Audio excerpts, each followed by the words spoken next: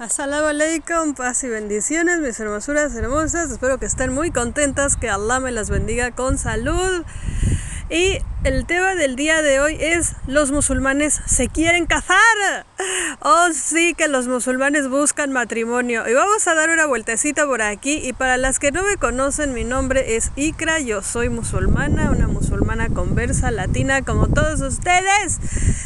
Y pues voy saliendo al parque mientras platicamos de Islam. Desde hace algunos años que estudio la religión del Islam y platico con ustedes mientras salimos a ver la naturaleza y las cosas hermosas que Allah, Dios Todopoderoso, nos ha regalado para poder mirar y disfrutar.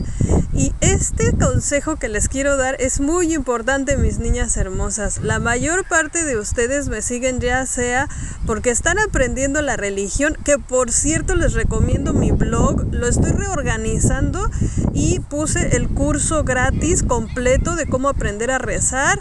Miren, ¿se acuerdan cuando los este, bichitos estaban chiquitos? Ya crecieron todos, o sea, ya se ven todos iguales. Todavía estos son como los adolescentes, pero ya los vieron, o sea, ya se ven igual que todos los grandes. Bueno, en fin, Continuemos. Bueno, entonces ahí en mi blog, ikraland.com, ya la cambié mi blog a, una, a un sitio que sea más fácil de recordar y todavía lo estoy reorganizando. Entonces, si de pronto entran y ven que las cosas están diferentes, así es. Me cuesta mucho trabajo, pero bueno, ya tenemos el curso para aprender a rezar. Les acabo de publicar el libro en Amazon por si lo quieren eh, comprar impreso. Y si no, lo pueden descargar en PDF o así gratis en PDF o lo pueden ver gratis en mi blog, claro que sí. Y si lo quieren descargar, o sea, si lo quieren comprar impreso para que les llegue la copia, también la pueden comprar en Amazon. en fin, para que aprendan a rezar, también les puse el matrimonio en el Islam con todo lo que necesitan saber antes de casarse con un musulmán, sus derechos y obligaciones como esposas, ya sean musulmanas o no musulmanas. Entonces no olviden visitar mi blog ikraland.com. Y este es el consejo importante que les quiero dejar el día de hoy, es que los hombres musulmanes buscan matrimonio o sea, así como suena, es que en realidad pareciera algo que es muy obvio, pero no lo es. Porque en América Latina y en Occidente en general, o sea, es algo que si tú te fijas en la televisión, en el Netflix, aquí y allá, o sea, normalmente tú vas a ver que en Occidente se considera el matrimonio. ¿Ya vieron? Encontré unas plantitas. Bueno, en Occidente se considera el matrimonio como si fuera un castigo, como si fuera una prisión, como si fuera algo que sucede abruptamente, o algo que sucede como a fuerzas, como que los hombres quieren evitarlo a toda costa, ¿saben? Es así como, oh, por Dios, la soltería es lo mejor del mundo. Y es algo que motivan mucho a la gente así como quedarse solteros, disfrutar, salir de fiesta, beber alcohol, es como lo último y más alcanzable en la vida, así como lo bueno, es como eso es algo bueno por hacer. O sea, estar soltero, no casarse y disfrutar de la vida, o sea, se considera que esa es una forma de disfrutar de la vida. Y en el Islam es diferente. Nuestro profeta Mohammed la pasa con él se casó, su primera esposa fue eh, Hashrat Hadilla y e, estuvo casado con ella solamente y hasta que ella falleció fue entonces que él se casó con varias mujeres. El matrimonio es parte de la religión del Islam, entonces los musulmanes, ya sea que sean conversos musulmanes, o sea, nuevos musulmanes, viejos musulmanes, jóvenes musulmanes, los musulmanes de derecha, izquierda, latinos y no latinos, árabes y no árabes, hindus, pakistaníes, bangladeshis, africanos, afganos, de todas partes del mundo. Y fíjense, somos casi dos mil millones, casi dos mil millones de musulmanes. Los musulmanes buscan casarse. Entonces, si tú como mujer buscas matrimonio, ya sea que seas musulmana o no musulmán, o no musulmana, te puedes casar con un musulmán y de verdad hay millones, o sea, millones, de verdad, millones, hay millones de musulmanes en el planeta que están buscando una esposa. No hay por qué desesperarse. El punto aquí es no se desesperen, o sea, no piensen, uy, están pasando los patitos. Ah, escuché hasta las alas, pasaron justo encima de mí.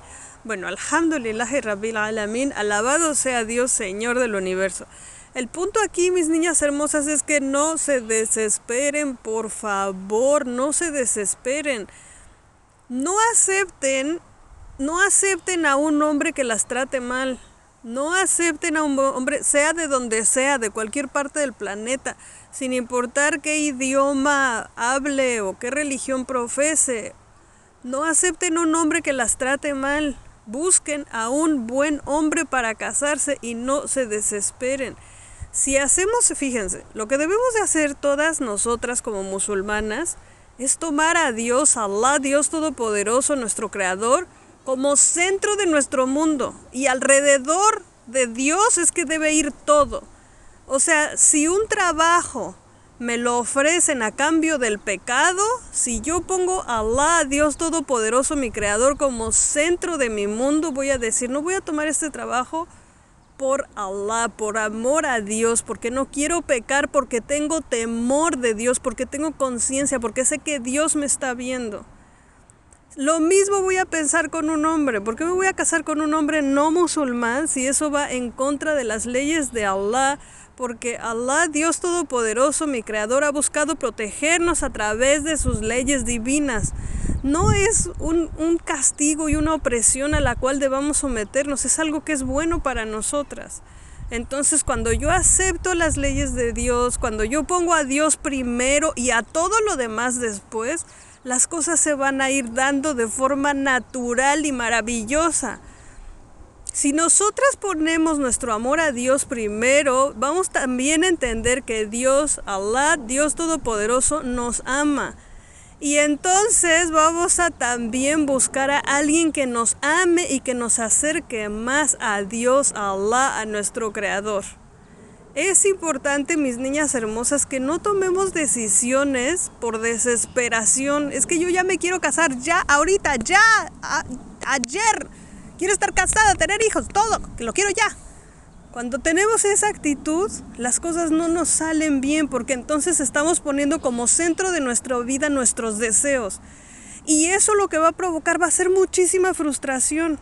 Porque yo quiero, quiero, quiero, quiero, quiero, pero en realidad la vida no es lo que queramos. La vida no es lo que queramos. En general, esta vida es una prueba que Allah, nuestro Creador, ha puesto para nosotras, para probarnos, para ver si realmente creemos en Dios si vamos a poner a Dios primero si vamos a poner nuestros deseos egoístas, porque así es, como seres humanos tenemos muchos deseos egoístas y pareciera que nunca se satisfacen. Así es como vemos a gente rica y poderosa, influyente, que está infeliz o que está deprimida o que comete suicidio porque siente que no tiene lo suficiente, aunque lo tiene absolutamente todo. Así nosotras tenemos que pensar en eso. Tal vez lo único que me falta en mi vida para ser feliz es un esposo. Y entonces si pongo eso, mi deseo como centro de mi vida, lo más probable es que, miren, un pajarito, un pajarito de esos rojitos que ya se fue. Me encantan esos pájaros rojos, por eso siempre que salgo, siempre ando en búsqueda de esos pájaros rojitos. Bueno, entonces, mis hermosuras hermosas, tenemos que poner a Dios como centro de nuestra vida, como centro de, de, todo. Y alrededor de eso lo demás. Entonces voy a buscar un hombre que me acerque a Dios, voy a buscar un hombre que me dé los derechos que Allah, Dios Todopoderoso, mi Creador, me ha dado. Voy a poner como centro de mi vida mi religión, mi amor por Dios, mi relación con Dios. Y entonces voy a confiar en que Dios, Allah, mi creador, el todopoderoso creador de todo lo que existe, es quien me va a dar a un buen esposo.